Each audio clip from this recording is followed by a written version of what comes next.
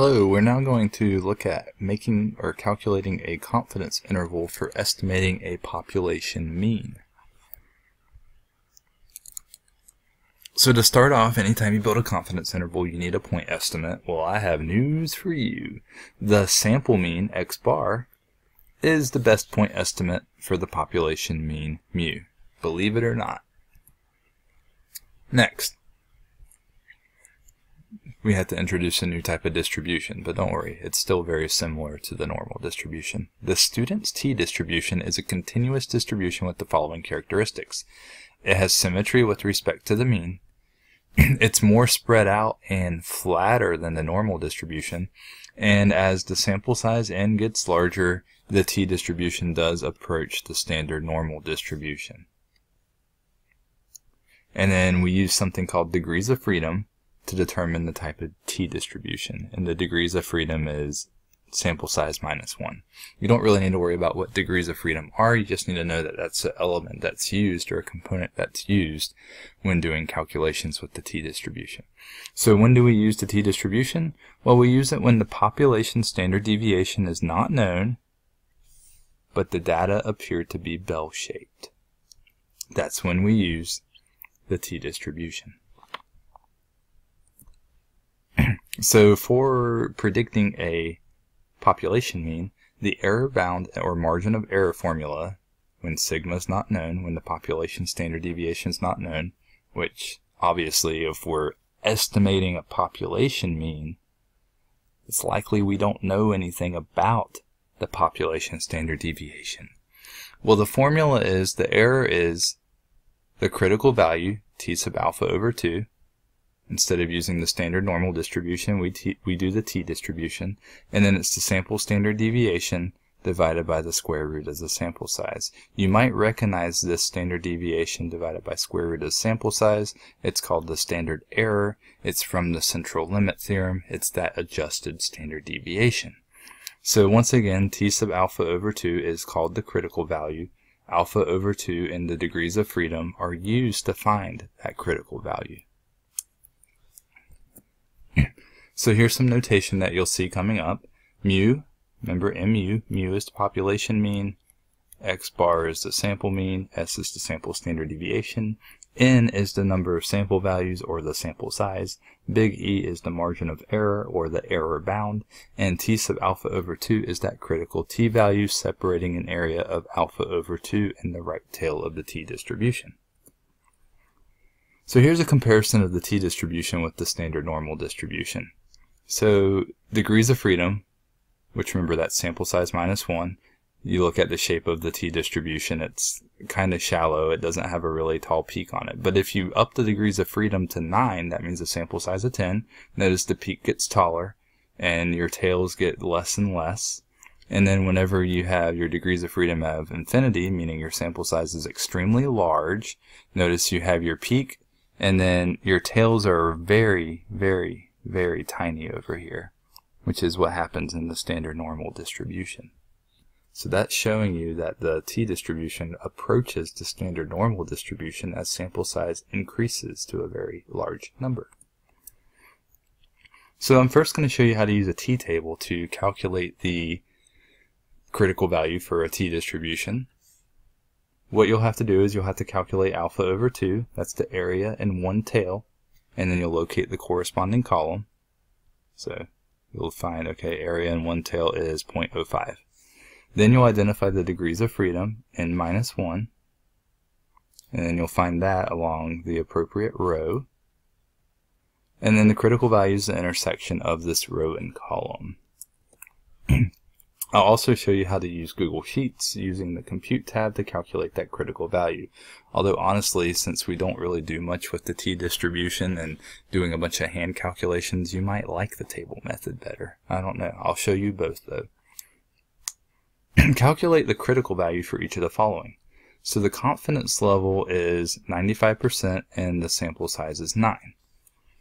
So that would mean alpha is 1 minus the confidence level, which is 0.05.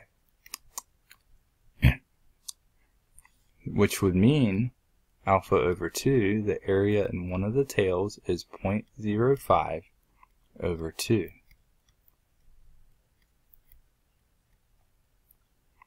And then degrees of freedom,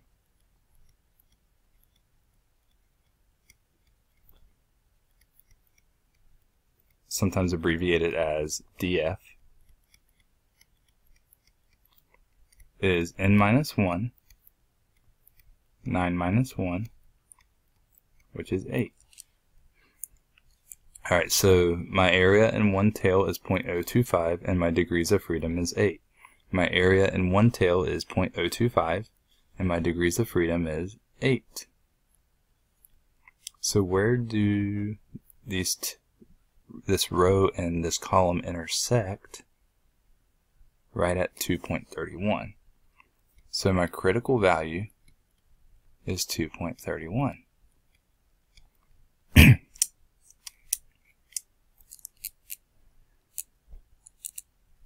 what if I use Google Sheets?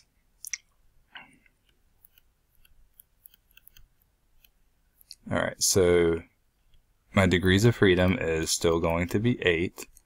And then my area to the left of the data value I'm trying to find will be 1 minus alpha over 2. That's 1 minus 0.05 over 2. That's 0.975. That's what you would type into Google Sheets. In the Compute tab, there's a region called the T region, and you're going to focus your attention there. so where that 1 minus alpha over 2 comes from it's basically from the fact that 95% is the dead center of your bell curve and each of your tails would have to have 2.5%.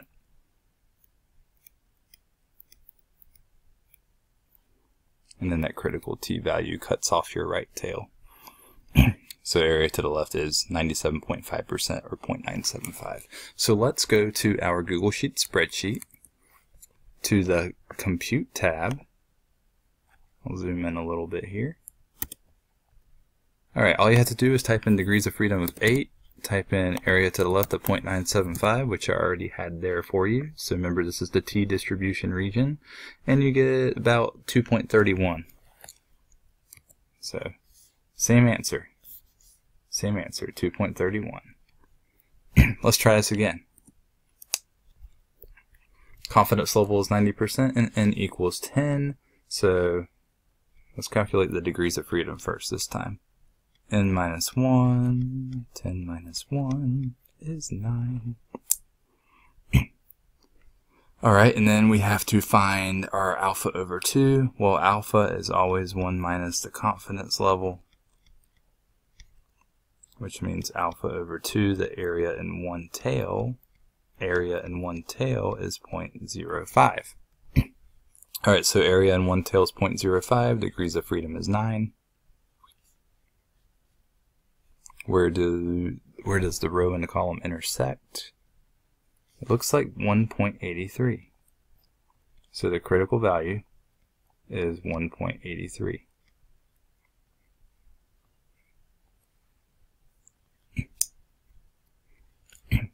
If you were to use Google Sheets again, I won't walk you through the whole process, but I'll tell you what the input is. Degrees of freedom is still 9, and then area to the left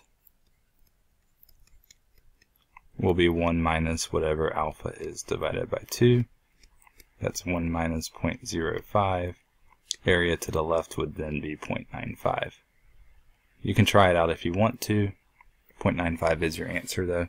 Sorry, 0.95 is the area to the left it'll give you a critical value once again of 1.83 guaranteed or your money back. Alright, so to build a confidence interval for the estimate of mu, the population mean, when the standard deviation is population standard deviation is not known, you literally take that point estimate x bar, you subtract the error, you take the point estimate x bar, and you add the error, and mu will be somewhere between there with the designated confidence level.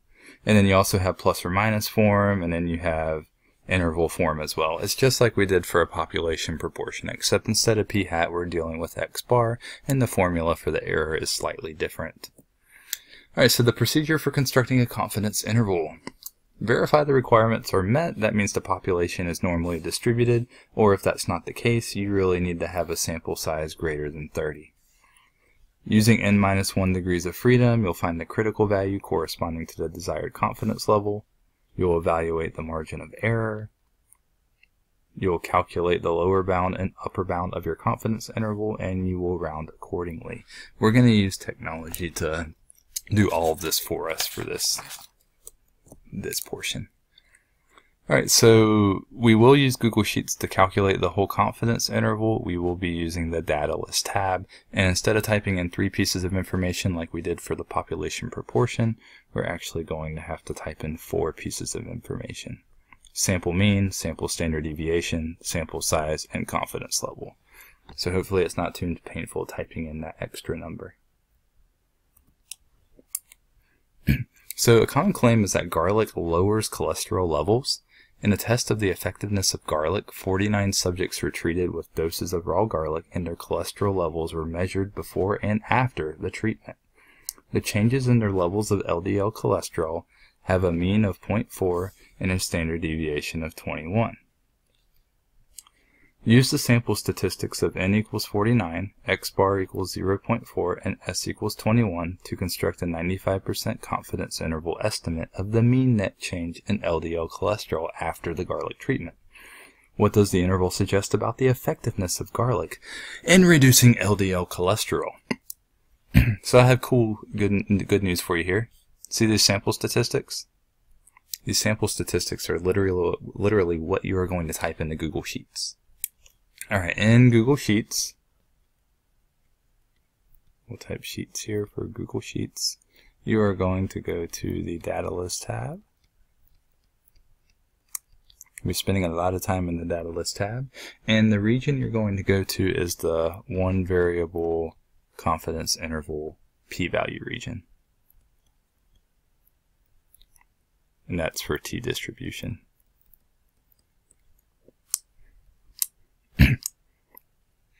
Alright, you need to input the following information. X bar is 0.4, and then S is 21, N is 49, and then your confidence level is 0.95, or you could type in 95 with the percent sign, whatever you want to do. So let's check it out. Let's see what happens. Alright, so we're going to go to the data list tab. And we have this region, the one variable confidence interval p-value for t-distribution. There's one for z-distribution that we'll talk about momentarily, but x bar in this case is 0.4. Your standard deviation is 21. Your sample size is going to be 49. And confidence level is the only other thing you need and it's going to give you your upper bound and lower bound of your confidence interval. Negative 5.63 and 6.43. right, negative 5.63 and then you have 6.43. So remember we're trying to find the the estimate of the true mean net change in LDL cholesterol after the garlic treatment. So the interpretation of this confidence interval is as follows.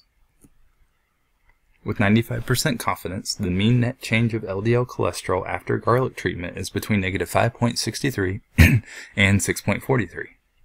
You have to have that sentence statement to go with the confidence interval. So what can we conclude about the effectiveness of garlic in reducing LDL cholesterol? So this interval is cap capturing the change in LDL cholesterol levels. Well, guess what? Since 0 is in the interval, what does it mean when the difference between something, between two things is 0? Well, it means there is no difference. So since 0 is, since 0 is in the interval, garlic likely does not reduce LDL cholesterol. Since zero is in the interval, that means there's likely no difference, so garlic likely does not reduce LDL cholesterol. So sad. So now we're also going to look at finding a sample size for estimating a population mean. to find the cor corresponding sample size for various requirements, you must take your critical value, multiply it by the population standard deviation, divide by the margin of error, and then you will square the result. And you may say to yourself, wait a minute, why in the world we don't know the population standard deviation? Well, when we're predicting sample size, we like to use an approximation for that population standard deviation. Otherwise, our life could turn into a living nightmare if it's not already that way. so let's talk a little bit more about this formula. Your value for n that you find has to be rounded up always.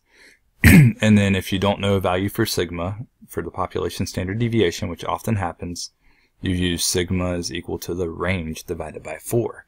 the range is the maximum value minus the minimum value. so assume we want to estimate the mean IQ score for the population of statistics students. How many statistics students must be randomly selected for IQ test if we want 95% confidence that the sample mean is within 3 IQ points, there's our error, and then we know that scores range from 60 to 120. We know that for a 95% confidence level, the critical value is 1.96. So the error they wanted is within 3 points, and then the range, or sorry, the standard deviation, is the range divided by 4. We're using the estimation rule here. 120 divided by 60 over 4. 60 over 4 is 15. And you will plug these into the formula. so I have 1.96 times 15 divided by 3, and this is all squared, of course. So that's actually going to give you 29.4 over 3. squared, which will give you 9.8 squared we just keep going and going and going, and we actually get 96.04. You're like, can I just get away with messing with or picking 96 people? And with that, I say no. Regardless, you have to round up. Always round up. So we have to use a sample size of 97 in this case.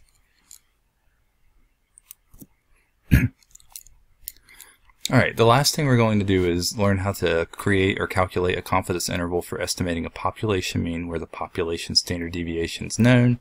We're still going to have our point estimate, we're still going to have our error, but our error we can actually find a z-score rather than using the t-distribution. So we're allowed to use standard normal just like we normally would. No more t-distribution. That's because the population standard deviation is known. Google Sheets We'll use the same type of stuff, same area, except we'll go to the Z distribution area of the data list tab. So let's do our example. People have died in boat and aircraft accidents due to an inaccurate estimate of the mean weight of men.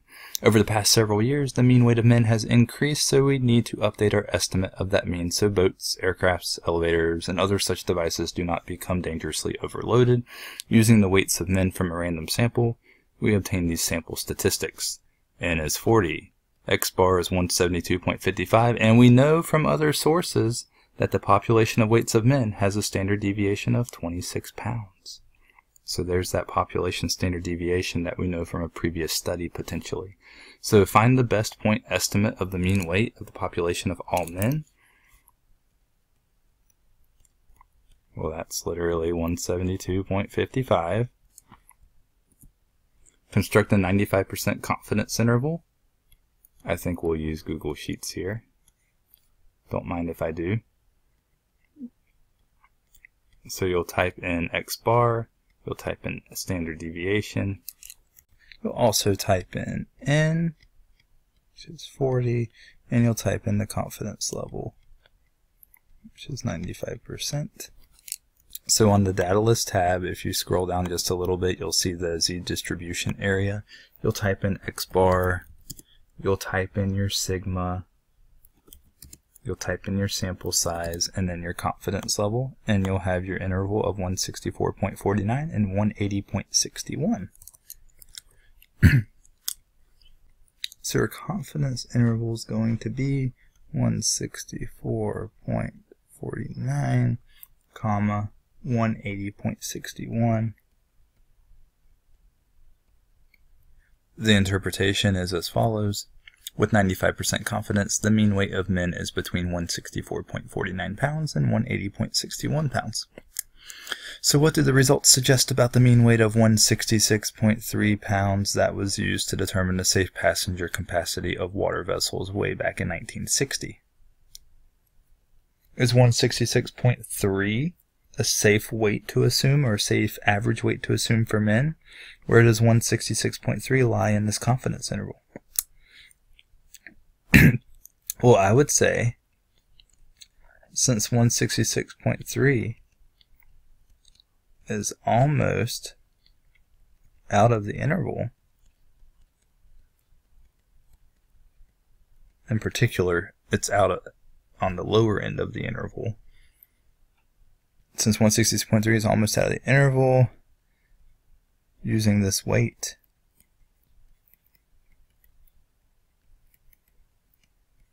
may not be safe. They may need to pick a higher weight. However,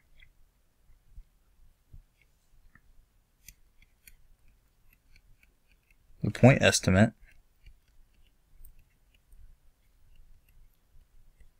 is also 172.55, suggesting a true mean weight